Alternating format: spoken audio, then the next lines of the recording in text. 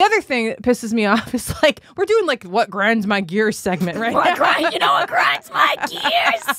like during the pandemic, everyone's always talking about, oh, you know, like I worked from home and like we bonded over this show that me and my husband binged. I I went on a lot of Zoom dates and I'm like, I was carrying 300 pound COVID victims downstairs with fucking blood coming out of their mouths while their family screamed, and I did that six times a day. And then I took a knife and I cut them open, and that was just my job. And I had to do that so I wasn't homeless. I had to open. I had to fucking take murder victims and put their skulls into place and like cut their hearts out and look at them. Like I did that for 11 months and I'm fine.